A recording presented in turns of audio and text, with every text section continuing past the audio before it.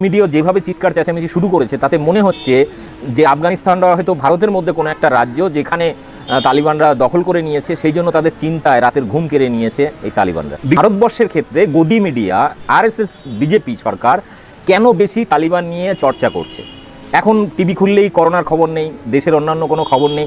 আট মাস ধরে কৃষকরা আন্দোলন করছে রাস্তায় বসে আছে ঝড় বৃষ্টি জল ঠান্ডাতে। প্রায় পাঁচশোর উপরে কৃষক মারা গেছেন তাদের নিয়ে কোনো আলোচনা নেই। কিন্তু তালিবান, যেটা দেশের বাইরেকার বিষয় একটা দেশের বাইরের ইস্যু, একটা অন্য দেশের ইস্যু, সেটা নিয়ে ভারতের গদি মিডিয়া কেন এত লাফালাফি করছে? সেই বিষয়টা নিয়ে আপনাদের সঙ্গে আজকে আলোচনা করব। কেন করছে এর উত্তর খুঁজতে গেলে ভিডিওর পোস্টারটা দেখে আপনাদের অনেকেরই মনে হতে পারে যে কেন করছে, তার সহজ সরল অনেকেই উত্তর দিচ্ছেন যে আগামী ইলেকশন আছে উত্তরপ্রদেশে, সেই ইলেকশানের জন্য বিজেপি, আরএসএস একটা হিন্দু মুসলিমে মেরুকরণের চেষ্টা করছে। অর্থাৎ মুসলিমদের বিষয়ে একটা আতঙ্ক তৈরি করা। মুসলিমরা কেমন হয়? তালিবানদের পুরনো কিছু ভিডিও ক্লিপিংস সেগুলো সংগ্রহ করে সেগুলোকে বারবার রিপিট করে দেখানো হচ্ছে। স্লো মোশন করে দেখানো হচ্ছে। অনেক সময় ইমোশন কিছু সাউন্ড অ্যাড করে দেখানো হচ্ছে।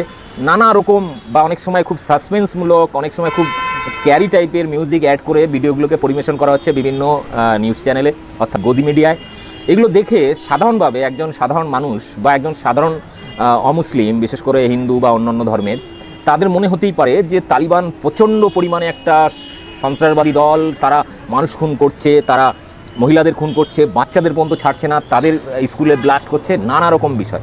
তো এই সমস্ত বিষয়ের কিছু উত্তর আমার পুরনো ভিডিওতে আছে, যারা দেখেননি তারা পুরনো ভিডিওগুলো দেখে নিতে পারেন। কিন্তু আজকের বিষয় যেহেতু ভারতবর্ষ নিয়ে, কারণ ভারতবর্ষের এমন কি জ্বালা বা আমাদের দেশের সরকারের এমন কি জ্বালা পড়েছে যে সারাক্ষণ তালিবান, আফগানিস্তান এই সমস্ত নিয়ে তারা নিজেরা যেমন চিৎকার করছে, সমাজ একই সাথে গদি মিডিয়া যেভাবে চিৎকার, চেঁচামেচি শুরু করেছে, তাতে মনে হচ্ছে যে আফগানিস্তানরা হয়তো ভারতের মধ্যে কোনো একটা রাজ্য যেখানে তালিবানরা দখল করে নিয়েছে, সেই জন্য তাদের চিন্তায় রাতের ঘুম কেড়ে নিয়েছে এই তালিবানরা। এবার আসি মূল কারণগুলোই সাধারণভাবে ইলেকশন রয়েছে উত্তরপ্রদেশ সহ কয়েকটি রাজ্যে। সেই রাজ্যের ইলেকশনের ক্ষেত্রে বিজেপির মূল যে ভোট, সেটা হচ্ছে হিন্দু ভোট। হিন্দু ভোটকে সংগ্রহ করা। কিন্তু আপনাদের জানিয়ে দিই দু হাজার চোদ্দ বলুন আর দু হাজার বলুন, বিজেপি ক্ষমতায় আসার সময় সারা ভারতবর্ষের প্রায় এইট্টি সেভেন পার্সেন্ট যারা হিন্দু আছে, তার মাত্র চল্লিশ পার্সেন্ট হিন্দুরাই কিন্তু বিজেপিকে সমর্থন করেছিল। অর্থাৎ ভারতের বাকি জনগণ কিন্তু বিজেপির বিরুদ্ধে অন্যান্য দলকে তারা ভোট দিয়েছে। স্বভাবতই বিজেপিকে কিন্তু ভারতবর্ষের সমস্ত মানুষ সমর্থন করে না, সমস্ত হিন্দুরা সমর্থন করে না, এটা পরিষ্কার।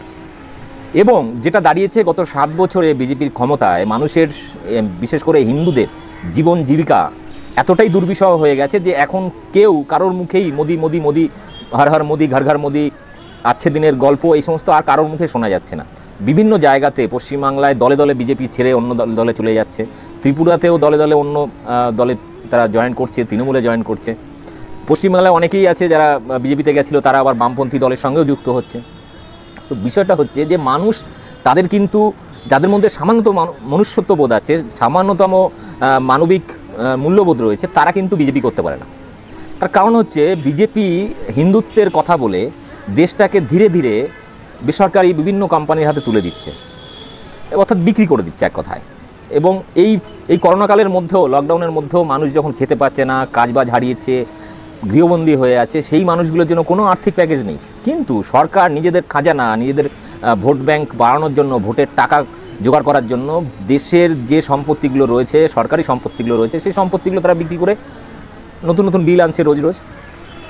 এবারে যে সমস্যা সেটা হচ্ছে কেন গদি মিডিয়া এত চিৎকার? গদি মিডিয়া, বিজেপি, আরএসএস কেন তালিবান নিয়ে এত বেশি প্রচার করছে? সারাক্ষণ মিডিয়ায় প্রচার করছে, সোশ্যাল মিডিয়ায় প্রচার করছে। তার বেসিক কারণ হচ্ছে কি? তার বেসিক কয়েকটি কারণ আছে। সেই কারণগুলোর মধ্যে সবথেকে মারাত্মক কারণ যেটা, সেটা হচ্ছে ভারত সরকারের প্রায় ন লক্ষ কোটি টাকা ইনভেস্ট করেছে আফগানিস্তানে। তালিবান ভারত সরকারের সঙ্গে এ ব্যাপারে সহযোগিতা করবে না, এটা ধরে নিয়েই কিন্তু ভারতবর্ষের শাসকদের, অর্থাৎ বিজেপির কিন্তু মাথায় হাত পড়েছে। কারণ তারা বহু কোম্পানিকে সেখানে পাঠিয়েছে ব্যবসা করার জন্য, সেখানকার খনিজ সম্পদ, তেল সম্পদ লুট করার জন্য। সেই জন্য তারা বিভিন্ন ইনফ্রাস্ট্রাকচার বিভিন্ন ধরনের কাজকর্ম তারা করেছে। কিন্তু সেই জায়গাটা হাতছাড়া হয়ে যাচ্ছে, ফলে সেই মরা কান্নার মতো, মরার সময় হরিনাম করার মতনই চিৎকার শুরু করেছে। এই একটা অর্থনৈতিক কারণ। দ্বিতীয় কারণ হচ্ছে তালিবানের ইস্যুকে সামনে রেখে ভারতবর্ষকে হিন্দু রাষ্ট্র ঘোষণার জন্য সমস্ত হিন্দুদের মনে মুসলিমদের প্রতি একটা ঘৃণার জন্ম দেওয়ার জন্য তালিবানের কিছু পুরনো কাজ, যে কাজগুলো তালিবানেরই বিক্ষুব্ধ গোষ্ঠী যারা বিভিন্ন সময় স্কুলে বিস্ফোরণ করেছে, তেহরিকি তালিবান বলে পাকিস্তানে একটি সংগঠন আছে, তারা পাকিস্তানে একটা স্কুলে বিস্ফোরণ করেছে, বহু ছাত্রছাত্রী মারা গেছে। এরকম তালিবানের মধ্যেও, অর্থাৎ আফগানিস্তানের মধ্যেও কিছু বিক্ষুব্ধ গোষ্ঠী আছে তালিবানের তারা বিভিন্ন ধরনের, এই ধরনের হত্যাকাণ্ড চালিয়ে তালিবানের নামে চালিয়েছে। এইগুলো কিন্তু বহুবার প্রকাশ পেয়েছে বিভিন্ন আন্তর্জাতিক মিডিয়া, বিভিন্ন আফগানি মিডিয়ায় তারা কিন্তু এগুলো প্রকাশ পেয়েছে।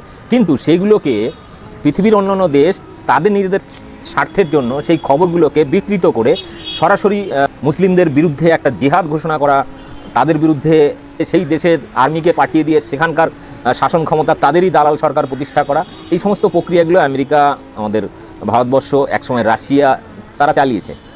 কিন্তু সমস্যাটা কোথায়? সমস্যা হচ্ছে যে এই মুহূর্তে ভারতবর্ষের চিন্তার কারণ, আগেও বলেছি, আগামী ইলেকশন আছে, সেখানে হিন্দু ভোট করাতে হবে, তার জন্য এখন বেশি করে প্রচার করো। মুসলিমদের যে সন্ত্রাসী রূপটাকে বেশি করে প্রচার করো, বিকৃত করে প্রচার করো। এই জিনিসটা বিজেপি, আরএসএস এবং গদি মিডিয়া একই সাথে তাদের সোশ্যাল মিডিয়া বিভিন্ন নেটওয়ার্কিং সাইডে কিন্তু এগুলো চলছে। এবারে এখানে আরেকটা জিনিস, সেটা হচ্ছে দু হাজার চব্বিশ সালে যদি ক্ষমতায় আসে বিজেপি, তারপরে পঁচিশ সালে আরএসএসের যেহেতু একশো বছর পূর্ণ হচ্ছে, ফলে হিন্দু রাষ্ট্র ঘোষণা করতে হবে। এর মধ্যে আরেকটা বলে দিই, একজন ধর্মগুরু সে ঘোষণা করেছিল চার মাসের মধ্যে যদি ভারতবর্ষ হিন্দু রাষ্ট্র ঘোষণা না করে মোদিজি, তাহলে তিনি আত্মহত্যা করবেন। সেটা নিয়ে সামনে একটা ভিডিও আসছে, খুব মজাদার ভিডিও হবে দেখার অনুরোধ রইল। আর দ্বিতীয়ত হচ্ছে, এই হিন্দু রাষ্ট্র প্রতিষ্ঠা করার জন্যই কিন্তু ধারাবাহিকভাবে তালিবানকে সামনে রেখে তালিবানের যে ঘটনাগুলো তালিবান শাসনের আগের পর্যায়ে ঘটেছিল সেই সমস্ত ঘটনাকে বিকৃত করে প্রচার করার সাথে সাথে সমগ্র বিশ্বের মুসলিমদের এবং ইনক্লুডিং ভারতের মুসলিমদেরকে তালিবানদেরই সমর্থক এটাকে জাহির করিয়ে তাদেরকে এক ঘরে করার একটা প্রচেষ্টা চলছে এবং তার বিরুদ্ধে সমগ্র হিন্দু কমিউনিটিকে বা অমুসলিম কমিউনিটিকে বিজেপি তার দিকে টানার চেষ্টা করছে। কিন্তু ফল আমরা দেখেছি, কারণ চোদ্দ সালে দু হাজার উনিশ সালে আমরা দেখেছি বিজেপি যতই হিন্দু ভোট টানুক না কেন, ভারতবর্ষে সবথেকে হিন্দুদের বারোটা বাজিয়েছে হচ্ছে বিজেপি। কারণ ক্ষমতায় আসার পরে আসামে এনআরসি, সেখানে চোদ্দ লক্ষ বাঙালির অবস্থা খুবই শোচনীয় করে দিয়েছে। সেখানে বাঙালিদের অবস্থা এতটাই খারাপ যে এই মুহূর্তে ওই চোদ্দ লক্ষ থেকে আরও বেশি, প্রায় আটত্রিশ লক্ষ মানুষের মানুষের বায়োমেট্রিক লক করে দেওয়া হয়েছে এনআরসি পর্যায়ে চলাকালীন এবং পরবর্তীকালে। ফলে তাদের ব্যাংক ট্রানজ্যাকশান থেকে শুরু করে আধার কার্ড করা থেকে শুরু করে বিভিন্ন জিনিস তারা করতে পারছেন না।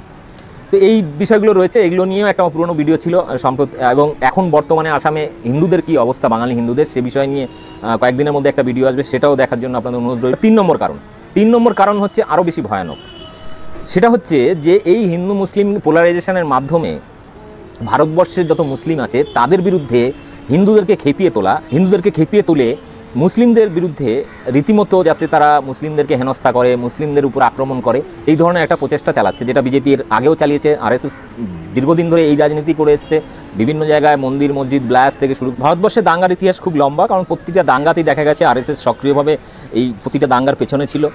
দাঙ্গায় উস্কানি দেওয়া থেকে শুরু করে দাঙ্গার শেষ পর্যায় পর্যন্ত যে হত্যালীলা চালিয়েছে সেটা আমরা গুজরাটে দেখেছি এবং তার আগে পরে বহুবার ভারতবর্ষে যত ছোটোখাটো দাঙ্গা হয়েছে, প্রতিটি ক্ষেত্রেই দাঙ্গাতে কিন্তু আরএসএস, বিজেপির সক্রিয় ভূমিকা আমরা প্রমাণ পেয়েছি। সারা ভারতবর্ষের মুসলিমদের বিরুদ্ধে, সারা পৃথিবীর মুসলিমদের বিরুদ্ধে একটা বিদ্বেষ, একটা ঘৃণা জন্ম দেওয়া এবং এই জন্ম দেওয়ার পেছনে যে আর্থিক, সামাজিক এবং ধর্মীয় কারণগুলো বলা হয়েছে, এর আগের ভিডিওতে আপনারা দেখেছেন যে বিভিন্ন ধর্মের যে কুসংস্কার, তার যে বর্ণভেদ প্রথা, তার যে বিভিন্ন রীতিনীতি, অঞ্চলভেদে বিভিন্ন ধরনের আচার অনুষ্ঠান, সেই অনুষ্ঠানের মাধ্যমে হিন্দু ধর্মের যে ব্রাহ্মণ্যবাদী ব্যবস্থা, সেই ব্যবস্থার মধ্যে বিশেষ করে দলিত, আদিবাসী, শূদ্র কমিউনিটির মানুষদের যেভাবে তারা শোষণ, শাসন চালাতো, যেটা ঐতিহাসিকভাবে আমরা জানি এবং সেই জায়গা থেকে তারা যখন ইসলাম ধর্ম পেয়েছে, ইসলামে গেছে, তারা যখন ভারতে বৌদ্ধ ধর্ম পেয়েছে, বৌদ্ধ ধর্মে চলে গেছে, তো এরকম বহু ধর্মে চলে গেছে যেখানে এই ধরনের সংস্কার, এই ধরনের জাতপাত, এই ধরনের বর্ণভেদ প্রথা এগুলো ছিল না। ফলত সহজেই এই মানুষগুলো আকৃষ্ট হয় এবং সেখানে চলে যায়।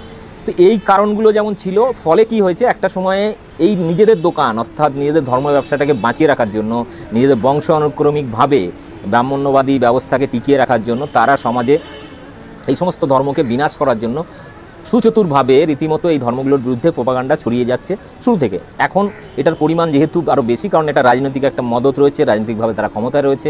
ফলে এই প্রচার প্রপাগান্ডার লেভেলটা এতটা পর্যন্ত চলে গেছে যে সারাদিনে আপনি যদি একশোটা চ্যানেল দেখেন, নিরানব্বইটা চ্যানেলেই নেগেটিভ নিউজ একটা দুটো চ্যানেলে হয়তো পজিটিভ কিছু দেখানোর চেষ্টা করছে, কিন্তু সাধারণ মানুষ কি বিশ্বাস করবে?